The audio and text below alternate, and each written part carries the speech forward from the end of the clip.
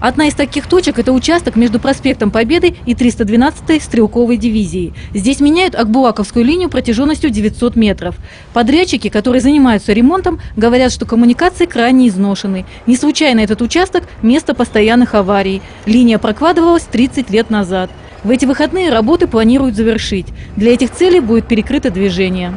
В связи с этим я обращаюсь к водителям с просьбой о том, что этот участок дороги будет закрыт э, в период с 18.00 13 июля до 6 часов утра э, 14 июля.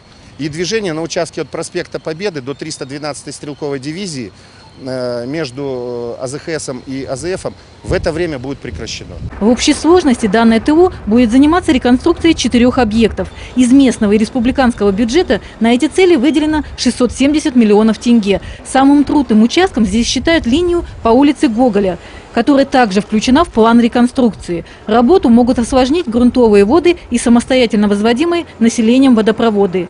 По данным АО «Акбулак», изношенность коммуникаций в Актюбе составляет 70%. Алиса Маринец, Алексей Уразов, программа «Факт».